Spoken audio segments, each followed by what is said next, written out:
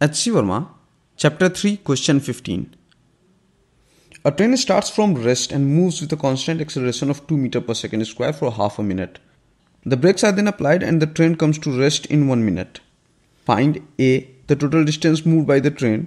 B. The maximum speed attained by the train. C. The positions of the train at half the maximum speed. The most efficient way of solving such questions is through graphs. Let us first draw the velocity time graph for the situation. Since the motion is uniformly accelerated, its velocity time graph is a straight line with slope same as the acceleration. As the acceleration of the train is 2 meter per second square, the slope of the graph will be 2 and in 30 seconds velocity will reach up to 60 meter per second. The graph will then go down to 0 in next 60 seconds. Now we know that the displacement is the area of the velocity time graph Therefore, the total distance traveled by the train is equal to the area of the shaded region. Area of a triangle is half into base into height, that is 45 into 60, that is 2700 meters, that is 2.7 kilometers. This is answer to part A of the question. As is evident from the graph, the maximum velocity of the train is 60 meters per second, which is answer to the part B of the question.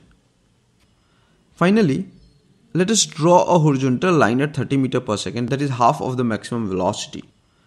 As can be seen in the graph and easily deduced from similarity that this line intersects the graph at t is equal to 15 seconds and 60 seconds. The position of the train at 15 seconds will be the area of the shaded region that is half into base into height that is half into 15 into 30 that is 225 meters. At 60 seconds, the position of the train will be the area of the shaded region, which is same as the area of the entire triangle minus the area of this smaller triangle. We have already calculated the area of the entire triangle is 2700. So the required area is 2700 minus half into 30 into 30. That is 2250 meters. That is 2.25 kilometers. So the answer to part C of the question is 225 meters and 2.25 kilometers. To browse chapter wise solutions, see the description below. To request solution to any question from HC Verma, post the chapter number and question number in comments below.